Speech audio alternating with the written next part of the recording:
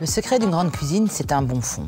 Un fond, c'est rien d'autre qu'un bouillon euh, fait avec des os, des légumes et des fines herbes qu'on laisse mijoter pendant des heures et des heures pour obtenir un extrait aromatique. Mais nous n'avons pas tous le temps de faire ça pendant des heures et des heures. Heureusement, il existe des fonds prêts à l'emploi.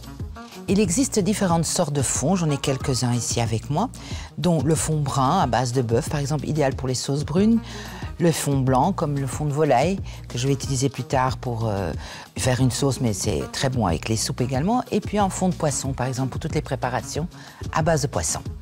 Pas de bonne sauce sans un bon fond. Donc aujourd'hui, je vais vous préparer une sauce chivry à base de fond de volaille, plein d'herbes fraîches, du vin blanc et de la crème.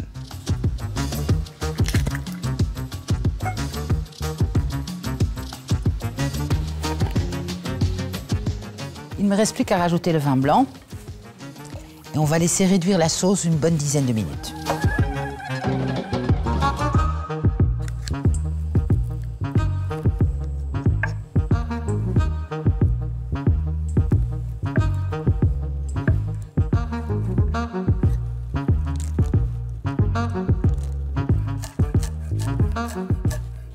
Alors notre sauce a réduit de moitié.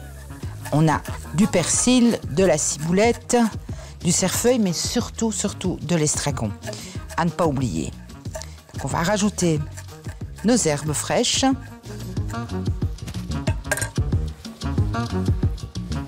Comme ceci. Encore un peu. Il reste plus qu'à assaisonner. On va rajouter un peu de sel, pas trop, parce que le fond est déjà salé. Donc il ne faut pas exagérer. On va surtout rajouter du poivre blanc pour éviter d'avoir les petits points noirs si on prend du poivre noir. La dernière étape, c'est de rajouter du beurre. Alors notre sauce à base de fond de volaille ne nécessite pas de liant supplémentaire parce qu'elle a réduit de moitié.